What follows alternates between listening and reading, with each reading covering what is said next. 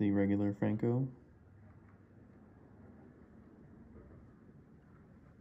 You can see how it's a little more squared off.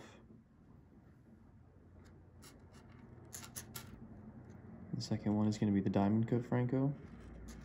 You'll notice all the smaller facets on each link, which also gives the entire necklace more of a rounded uh, profile, more of a sparkle and dazzle that catches the eyes.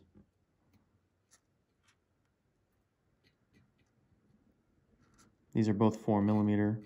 Because of the rounded profile of the diamond cut Franco, it can appear slightly thinner than the, the boxier profile of the regular Franco. I'll show you this one again.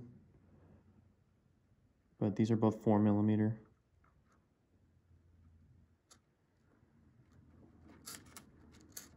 That's it.